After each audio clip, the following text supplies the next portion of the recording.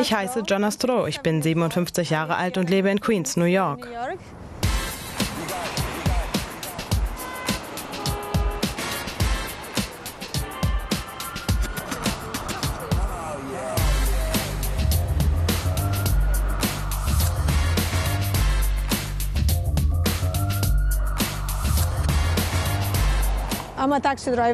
Ich bin Taxifahrerin, schon sehr lange, seit fast 26 Jahren. Darüber, was wir verdienen, sprechen wir New Yorker nicht.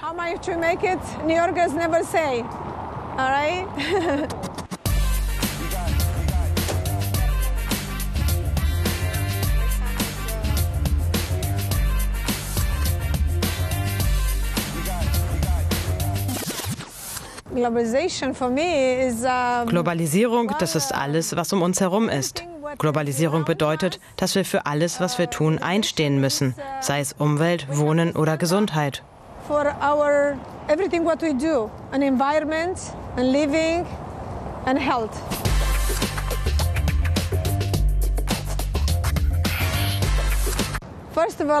Dass ich arbeite.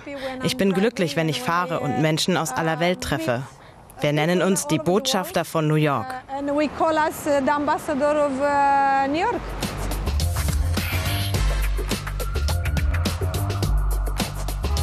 uh, mein Lieblingsessen ist das Essen aus Rumänien, meinem Heimatland.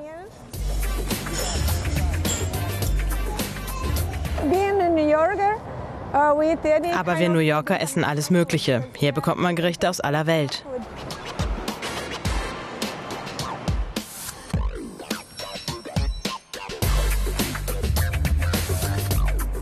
Überall hin. Wenn man Geld hat, dann reist man in alle Länder der Welt.